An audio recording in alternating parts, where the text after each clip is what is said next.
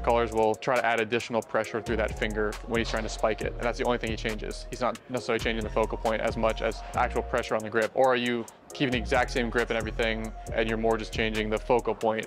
Movement profile on it isn't the most consistent. So I don't want to have a bunch of different changing variables to it.